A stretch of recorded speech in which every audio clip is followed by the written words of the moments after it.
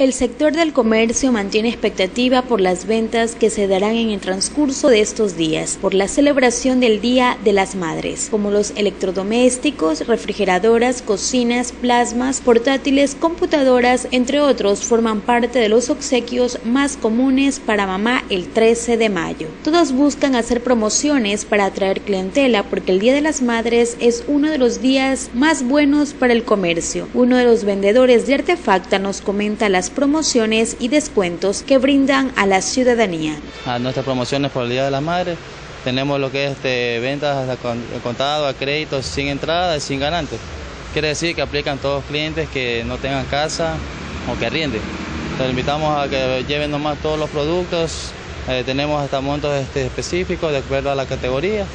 Eh, también tenemos, por decirle, las promociones para clientes nuevos, que también se les puede dar sin entrada para que lleven lo que ellos deseen y a los clientes que son de nuestra empresa invitamos para también regresen y lleven su promoción. Además, este, el primer pago lo haría el 20 o el 21 de, mayo, de junio recién.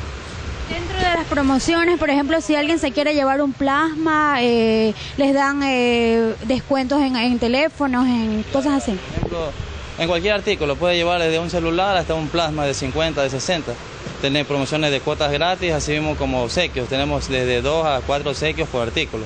Si lleva combi igual tiene descuento de letras y, descuento también de y regalo como promoción.